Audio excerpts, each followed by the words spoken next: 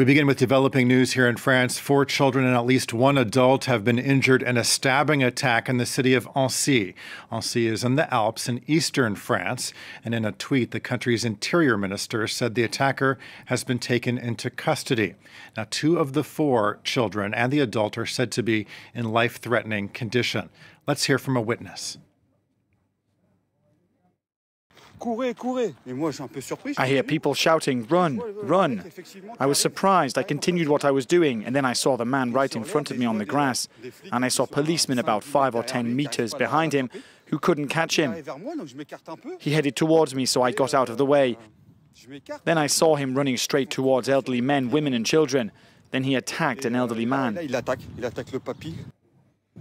And for more on this, I'm joined on set by France 24's Charlie James. Charlie, I understand we're learning some new information about how many people may have been injured. That's right. So the number of victims reported since we learned about this attack has fluctuated. That's expected. But the latest numbers that we're getting from local authorities is that it is four children and two adults who have been injured. Now, the number severely injured still stands at two children and one adult, but uh, six total is now the new number that we have from local authorities. Now, just to tell you a little bit more about how this attack unfolded, around 9:45 a.m. this morning, a group of children were at a park in the city of Annecy uh, when they were brutally attacked by a man with a knife. Witnesses say that he jumped into the playground area and started shouting. Uh, he then began running towards the strollers and stabbing at random. People, of course, started screaming and running, and all of this unfolded over the course of just four minutes before police were able to tackle the man and arrest him. Um, now, the kids that are involved, as you can imagine, they were at a playground, are believed to be very young. The two children in critical condition are believed to be three years old, but some of the victims were in strollers when they were attacked. What are we learning about the suspect? So, police have not said very much publicly about the suspect, except that he is a male.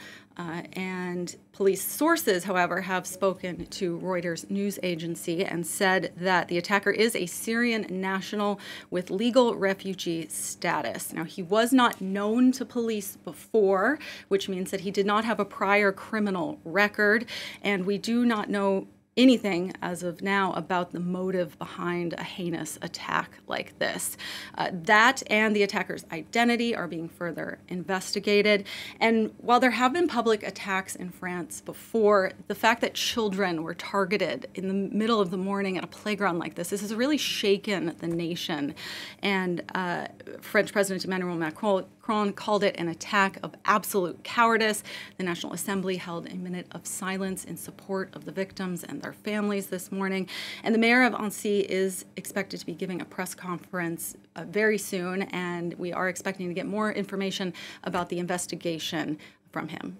And you can see from these images that we're showing, it's just an idyllic setting there in Annecy, just unimaginable that something like this would happen, especially on a playground. Mean, this is a vacation area. It happened near the Lac d'Annecy, the, a lake that is a huge tourist attraction. So we have heard from witnesses you know, from the UK and around Europe.